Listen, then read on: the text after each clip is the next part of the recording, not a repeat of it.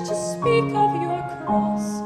boldly proclaiming your death was again not a loss, that through your blood, true justice and mercy